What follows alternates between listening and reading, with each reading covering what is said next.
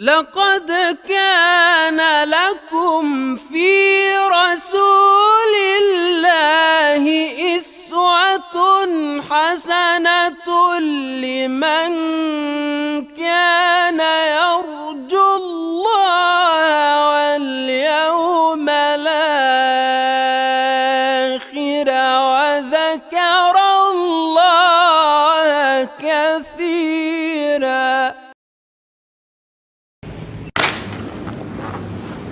بسم الله الرحمن الرحيم الصلاة والسلام على أشرف المرسلين وعلى آله وصحبه أجمعين أشكر في بداية هذه الكلمات المجلس العلمي المحلية لوجدة والإخوة والزملاء الأعزاء في مركز الدراسات والبحوث الإنسانية والاجتماعية بوجدة على إتاحتهم لنا جميعا هذه الفرصة للتفكير المشترك والتداول والنظر الجماعي في حالة نكابدها جميعا ويعيشها عالمنا بمستويات مختلفة حتى أن واحدا من أفراد هذه العائلة الإنسانية الممتدة لم يسلم جانب من جوانب حياته من آثار هذه الجائحة وتداعياتها ونتائجها في أي مكان وفي أي قطر من أقطار هذا العالم. وأحب أن أبدأ هذه الكلمة بالإشارة إلى أن ما نحن بصدده الآن هو محاولة للتفكير فيما بعد لحظة كورونا أي أننا لا نزعم الحديث عن مرحلة ما بعد كورونا فهذا لا زال مطلبا بعيدا ومرحلة بيننا وبينها مراحل. وإنما نتحدث عن اللحظة الأولى التي انطلقت فيها شرارة هذا الحدث العالمي غير المسبوق في اتساعه وفي مستوى إحساس البشر به. هذا نحن نتحدث عن ما بعد بعد لحظ ما بعد لحظة وقوع الحدث نفسه ما بعد لحظة كورونا. وبالتالي فإن أي محاولة للارتياد للنظر في المستقبل ستكون محفوفة بكثير من الأخطار المنهجية التي تقتضي التريث والحذر المنهجي والتوقف لئلا نسارع إلى بعض النتائج الفكرية والمسبقات قبل أن تنضج الظروف الفكرية والموضوعية المناسبة لإبدائها. آه، ومن هنا من المهم أن نتحدث عن لحظة الوباء نفسها لحظة كورونا. أذكر أنه قبل ست سنوات نشرت واحدة من المجلات الإلكترونية ذات الصفحة أو التي تتبعها صفحات يتابعها الكثيرون من الشباب ومن المتابعين اسمها أنا أؤمن بالعالم. نشرت في يوليو سنة 2014 مقالا بعنوان كم نحن البشر يعني قريبون من الخلود. وهذه المقالة أبدى فيها كاتبها واسمه راي كورزويل أو ريموند كورزويل وهو كاتب ومخترع ومن المتنبئين الذين يتحدثون عن المستقبليات وكان مديرا للهندسة في جوجل تحدث عن القرب الشديد للإنسانية من المرحلة التي سيشهد الإنسان فيها الخلود.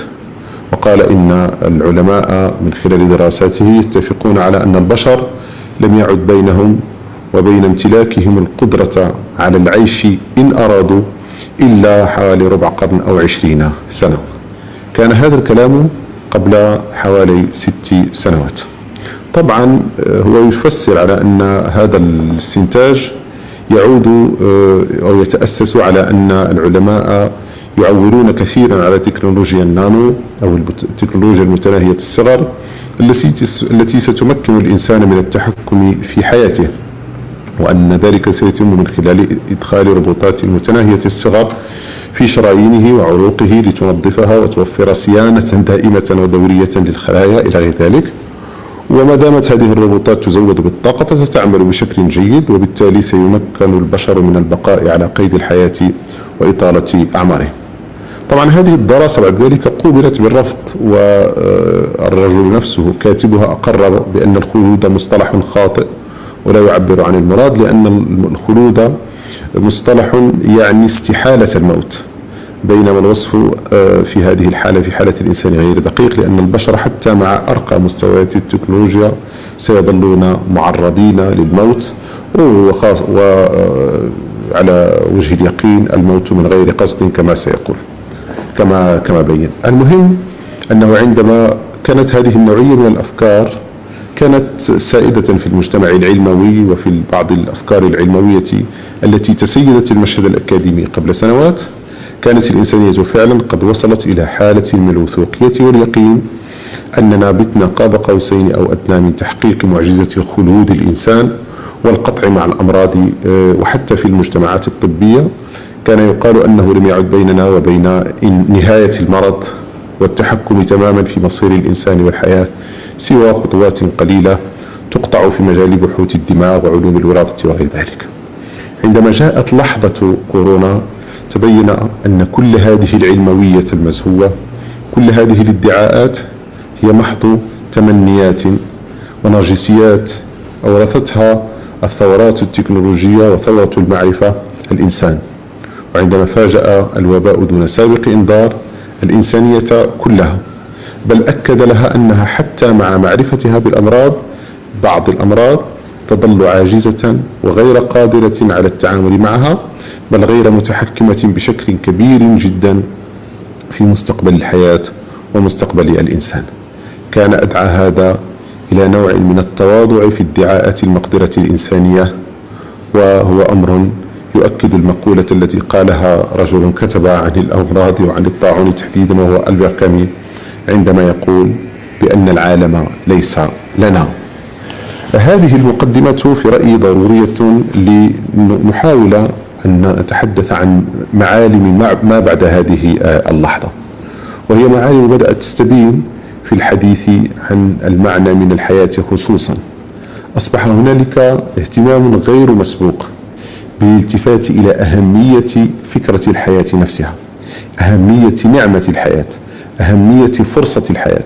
أن هذه المرحلة من الزمن المقتطعة من تاريخ ممتد والتي تشهد حياة الكائن الإنساني هي من الأهمية بحيث ينبغي استثمارها وإدراك أهميتها وملئها بكل مفيد وأن الزمن هو أهم بكثير من أن يصير مساحة للتفاهات ولانقضاء الأعمار في الاستهلاك واللهاث وراء السعار الاستهلاكي والرغبات الزائلة والتكاثر من من الكماليات. وقضاء الأوقات في, في الأشياء التافهة والكلام التافه آه، إلى غير ذلك. آه، القضية الأخرى المرتبطة بهذا هو أننا آه، نطرح اليوم أسئلة كثيرة حول قضية الزمن وقيمة الزمن ونوعية الزمن الذي التي عاشها الناس في هذه اللحظة وفيما بعد لحظة كورونا. هنالك كاتب بريطاني من أصل هندي مهم اسمه سردار ضياء الدين سردار. عنده آه، كتاب عن الأزمنة ما بعد العادية. يتحدث عن طبيعة الأزمنة التي يعيشها الإنسان في هذه المراحل في مرحلة ما بعد مراحل ما بعد الحداثة وأن هذه الأزمنة ما بعد العادية ستكون آه، أزمنة أو مرحلة تعيش يعيش فيها الإنسان حالة تتداعى فيها ثقة البشر بما هو سائد من الأنماط والأعراف الاجتماعية والمعرفية والمجتمعية والسياسية وغيرها. حالة أشبه بالحالة التي نعيشها. هي حالة الأزمنة ما بعد العادية. وأن هذه المراحل ليست مراحل عابرة وإنما جزء من طبيعة مرحلة يدخل من التاريخ البشري شاملة هذه الأزمنة ما بعد العادية هي أزمنة أو مراحل تاريخية يدخلها الناس تتسم باللا يقين بالتغير السريع بالتغير السريع في نمط الحياة ونمط المعمار والسكن والدراسة والتنقل السريع وتغيير الوظائف وتغيير الأوضاع إلى غير ذلك. وتتسم طبعا بالتناقض والفوضى واللا يقين والتعقيد إلى غير ذلك. لكن الفكرة الأساسية هي أننا دخلنا بالفعل. في مرحلة من الزمن هي مرحلة ما بعد الزمن العادي وأن الناس في هذه المرحلة تحديدا أدركوا طبيعة هذا التحول بشكل خطي وبشكل آه، قاطع في مرحلة آه، في مرحلة وجيزة.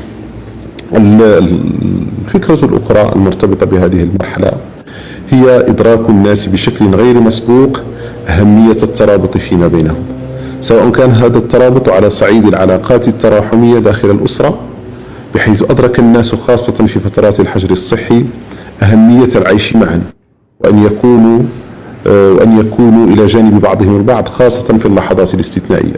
كان هنالك في فرنسا على سبيل المثال أزيد من عشرة ملايين إنسان قضوا أشهر الحجر الصحي منفردين عشر ملايين من من البشر في بلد واحد. عاشوا هذه الأشهر الطويلة منفردين لأنهم يعيشون حالة الفردانية يعيشون لوحدهم سواء كانوا شبابا أو شيبا في مختلف الأعمار.